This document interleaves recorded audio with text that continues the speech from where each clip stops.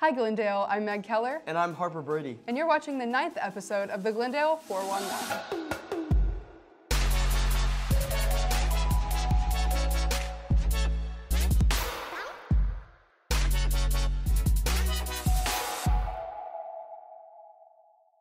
A new activity just opened up in Springfield. Emerald Davis and Hannah Martin have the story. The Springfield Rage Room opened on August 21st, 2018.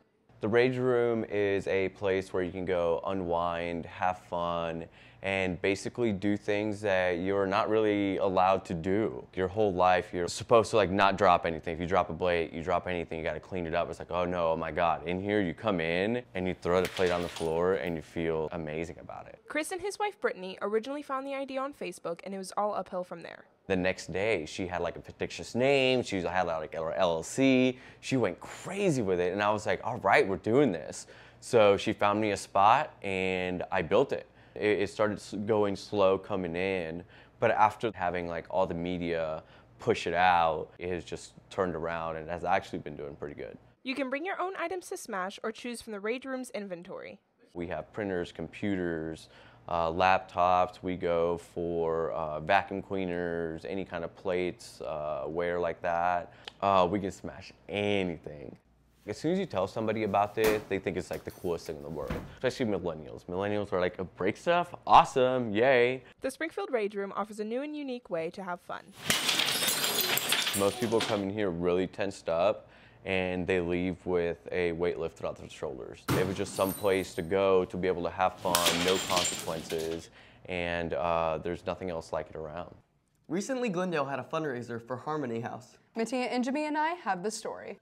This year, Glendale hosted a toilet paper drive. It was a collaboration between FCCLA and Stuco to do a fundraiser for Harmony House. Well, me and Miss Brockelman started planning it like a few months ahead of time, and then I worked with Evan to make our Canva posters, and I went and hung those around the school.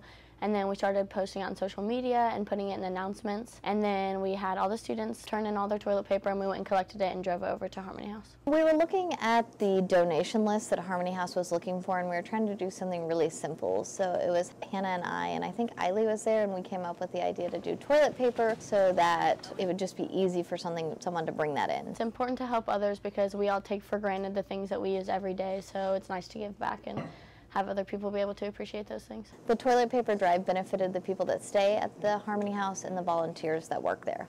The prize for the winning class was to pick the next Spirit Day, and they got a donut party. If we have something we can donate, it's in the best interest of society to give that to others. So just something as simple as toilet paper goes a long way. Many Glendale students can't find a job during school. Mackenzie Mondi has the story. The Missouri Career Center is a one-stop shop. Uh, it has different um, programs in it, so we have some tips. Students would be presentation, definitely. Work on not crossing your arms, don't have your phone out. We recommend your phone on silent or off. It's uh, called Aspire.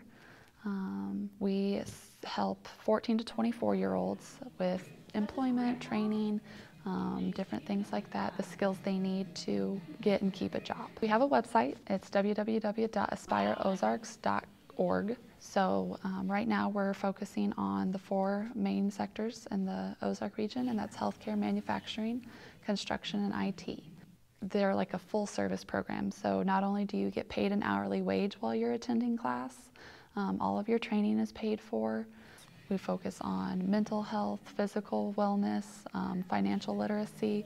There's so much more to get in keeping a job than just you know going in for a job interview.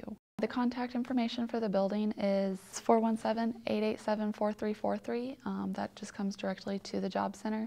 We also have jobs.mo.gov. It has thousands of listings. You can search jobs by keyword, your resume, tons of other things, and it shows job qualities, job description, and then ways to apply. We also have social media. We have Twitter, Facebook, so go like our Facebook page. It has job postings posted all the time, or whenever we have events here at the Job Center, hiring events, um, or just different forums. They're all posted on our Facebook. Hearts for the Arts is an annual online art auction. Michelle Lewis and Cameron Clymer have the story. Uh, Hearts for the Arts is uh, the one time a year we ask artists to donate work um, so that we can uh, sell it to support the Springfield Regional Arts Council and our art education programs. We welcome artists of all styles, all ages. For this one, we usually just have it be an open call where people can bring whatever they th- see fit. If an artist has a piece that they think would be a good fit for the show, they just bring it here to the Creamery Arts Center and um, we'll accept it for Hearts for the Arts. We're a nonprofit. The money goes directly to um, our mission to uh, enhance lives through the arts in Springfield, um, and particularly through art education. And at that core, it's supporting artists and teaching young artists how to do things, teaching practicing artists how to improve their skills. Um, so this is definitely one of the things that has the widest reach. Um, you can bid online anytime throughout the month uh, if you go to springfieldarts.org. All artworks start either at 10 or $20, so they all start super affordable. Um, but then the bidding process, you know, we'll see how it goes. Thanks for watching. Make sure to check us out on social media at the Glendale 411. Signing off, I'm Harper Brady. And I'm Meg Keller.